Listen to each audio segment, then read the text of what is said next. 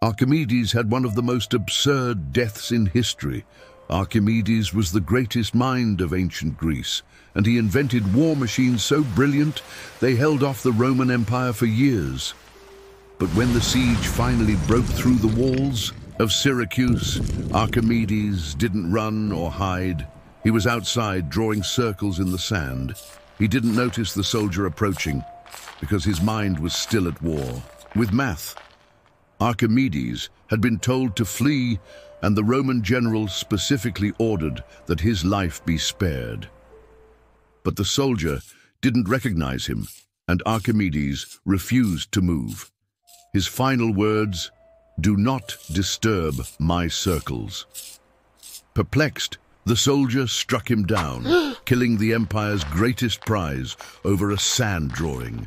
Archimedes gave the world the lever, the pulley, the screw, and the first concepts of calculus. And his inventions shaped civilizations for centuries. But you will remember his death more than his theorems, a mind so brilliant it forgot to fear the sword.